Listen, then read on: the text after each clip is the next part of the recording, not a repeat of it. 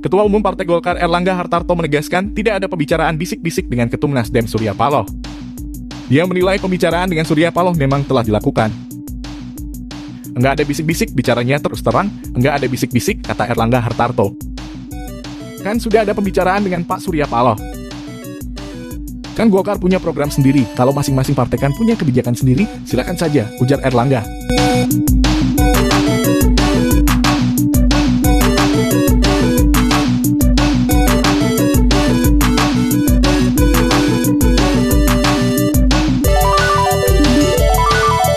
Kalau koalisi itu istilahnya bukan bisik-bisik, tapi keniscayaan dalam sistem pemilu sekarang.